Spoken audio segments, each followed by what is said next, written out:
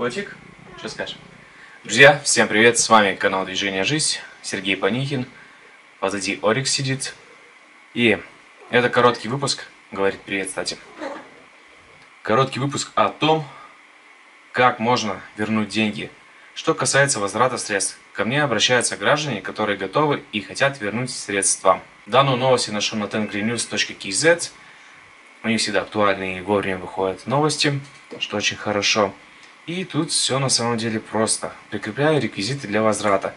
Это можно сделать через приложение. Здесь вот пишут, конечно, в условиях ЧП это желательно делать через мобильные приложения банков.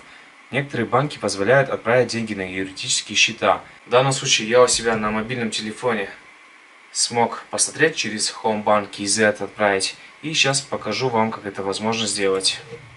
Для начала вам нужно авторизоваться, далее нажать на переводы. Чуть ниже есть перевод на номер счета. Выбираем его. Тут нужно будет ввести данные, кому вы хотите сделать перевод. Копируем их бенефициара, главное, чтобы не ошибиться цифрами. Следующее, нам нужно скопировать BIN. То есть в первом случае мы ставили номер счета получателя, во втором случае BIN. И проверяем юридическое лицо. Тут все верно. Государственная корпорация, правительство для граждан. Соответственно, смотрим, что все верно. Государственная корпорация, правительство для граждан. Реквизиты, значит, верны.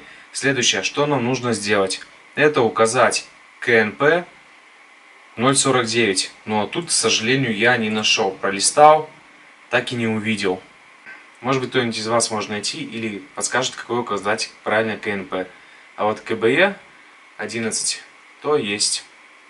Также можно оставить комментарий на значение платежа, поставить «Я согласен с условиями перевода» и нажать на кнопочку «Далее».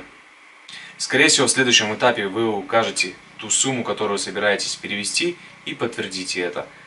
Процедура довольно-таки простая, несложная, но, к сожалению, в приложении Каспи я ее не нашел, только Homebank.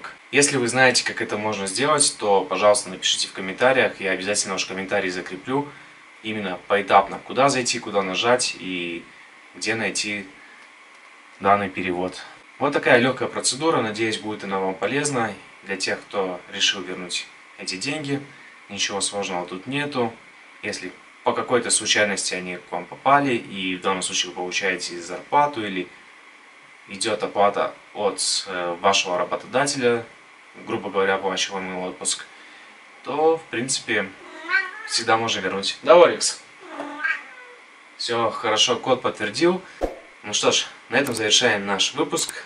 Всем здоровья, счастья и не унывать, сидя в заперти в четырех стенах, найти какое-нибудь занятие полезное для себя, изучать что-то. В интернете очень много полезной информации. В общем, будьте здоровы и всем пока. До встречи в новых выпусках.